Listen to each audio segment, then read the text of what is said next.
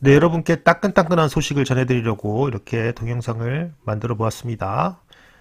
오늘 새벽에 있었던 애플의 컨퍼런스죠. WWDC 22가 열렸는데요. 어, 놀라운 소식이 있어서 여러분께 또 전해드리려 가져왔습니다. 자, 여러분 보시면 이게 지금 행사가 이렇게 열리고 있는데 지금 보면 이번 행사에서 가장 주목받은 것은 일단 뭐 아이폰 운영 체제, 뭐 iOS라든지 macOS 이런 기능 업데이트, 그리고 또 애플의 시스템 원칩의 차기작 공개 여부였고요. 그리고 많은 분들이 음, 기대했던 거는 M2 칩을 장착한 새로운 칩이죠. M2 칩을 장착한 맥북이 나올 것인가, 공개될 것인가의 여부였는데요.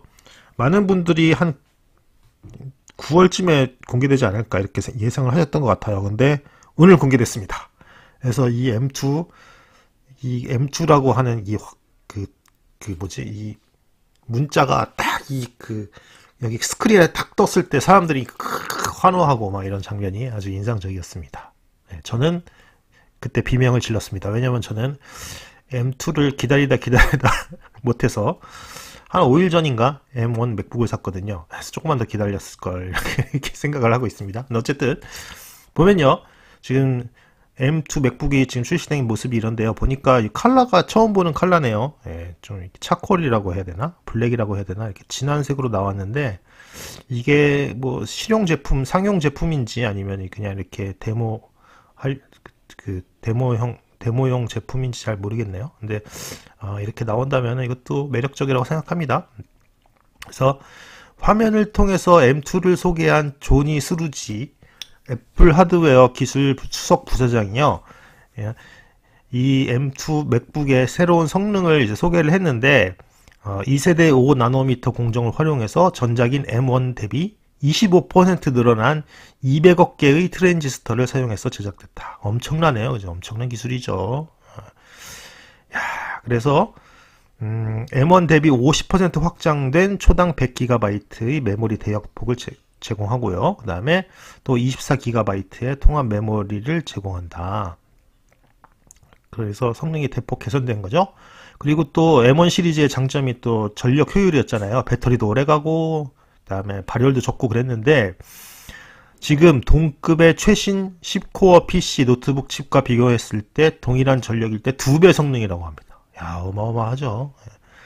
그리고 어 이제 어, 동일한 성능일 때에는 전력은 25%. 야 대, 대단하죠 여러분. 아 진짜.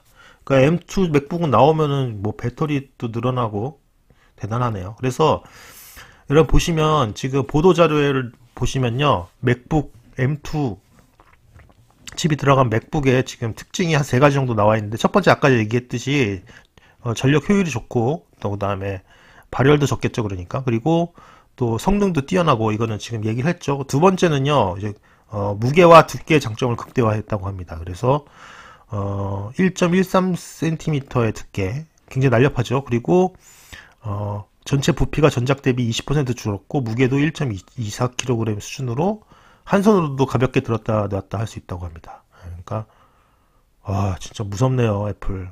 아 진짜 어, 도대체 맥북은 맥북을 비롯해서 얼마나 더 좋아지려고 이러나 참 대단합니다. 그 다음에 세 번째는요. 세 번째 특징은 뭐냐면 영상 작업 같은 게 이제 절대로 끊기지 않는다고 합니다.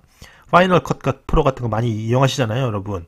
근데 이제 그런 거 할 때도 끊김없이 잘 할 수 있는 그런 예, 막강한 성능을 갖췄다라고 돼 있고요. 그리고 여러분 중요한 건그 가격 가격이겠죠. 그래서 맥북 에어는 1199달러 약 150만 원부터고 프로는 약 162만 원이라고 하니까 여러분 생각해 보면 지금 맥북 에어와 프로가 가격 차이가 얼마 안 나요. 음.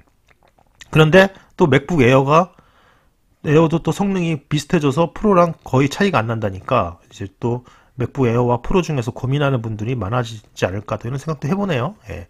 아 저는 M1 맥북을 사가지고 이거 그냥 뭐라 그럴까 닥쳤던 게 지붕 쳐다보는 경우로 막 그렇게 예, 있을 것 같은데 어쨌든 여러분들 어, 이런 소식 하나 전해드렸고요. 여러분 다음에 더 재미있는 정보로 찾아볼 테니까요. 구독과 좋아요 해주시면 감사하겠습니다. 여러분 오늘 여기까지 하겠습니다. 감사합니다.